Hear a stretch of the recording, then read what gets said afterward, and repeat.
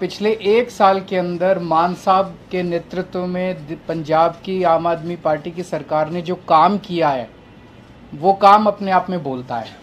हर क्षेत्र के अंदर। बिजली फ्री हो गई, बिजली के पावर कट लगने बंद हो गए। कोई सोच नहीं सकता था पहले सात सात आठ आठ घंटे के साल भर पहले पंजाब में पावर कट लगते थे। अब पावर कट नहीं लगते पंजाब के अंदर। बिजली ठीक हो गई। अब मोहल्ला क्लिनिक बनने चालू हो गए। सबसे बड़ी बात है कि लॉ एंड ऑर्डर जो कहते थे, इनसे संभलेगा नहीं बॉर्डर स्टेट है, इनसे संभलेगा नहीं। अब लॉ एंड ऑर्डर बिल्कुल स्टेबल हो गया वहाँ पे। साल भर लगा हम लोगों को, क्योंकि पिछली सरकारों का जो वो था, वो हमने इनहेरिट किया। लेकिन अब लॉ एंड ऑर्डर कि जो अमृतपाल का जो पूरा वो हुआ, जितनी मेचोरिटी के साथ मान साहब ने उसको डील किया, सब लोग इसकी इनकी तारीफ़ कर रहे हैं।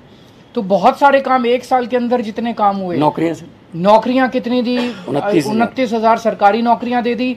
और आपको शायद ये नहीं पता जान के ताजुब होगा पिछले एक साल से इन्होंने देश भर के अंदर घूम घूम के पंजाब के लिए चालीस हज़ार करोड़ का इन्वेस्टमेंट शुरू हो गया है। ये एमओयू साइन नहीं हुए नॉर्मली तो एमओयू फर्जी साइन होते हैं। वहाँ पे भूमि पूजन चालू हो गया है फैक्ट्रियों का लगने का ज़मीनें खरीद ली गई हैं नारियल फोड़ दिया गया है। तो चालीस हज़ार करोड़ की इंडस्ट्री लगने का इन्वेस्टमेंट ये लेके आए हैं, जिससे ढाई लाख बच्चों को नौकरी मिलेंगी। तो जो इन, वो काम है, काम बोलता है, वही एक्स फैक्टर है, वही वाई फैक्टर है, वही जेड फैक्टर है।